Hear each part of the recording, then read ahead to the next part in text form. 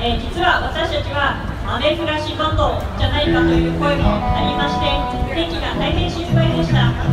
しかし今日は外出してきた皆さんの心のおかげさまをもちまして今年は素敵な星空でもないですかねの元で演奏することができました。さて今年の七夕ステージ締めくくりはロックンロールで元気に弾けたいと思います。したらぜひ踊ってください。海猫爆弾。ロケロー。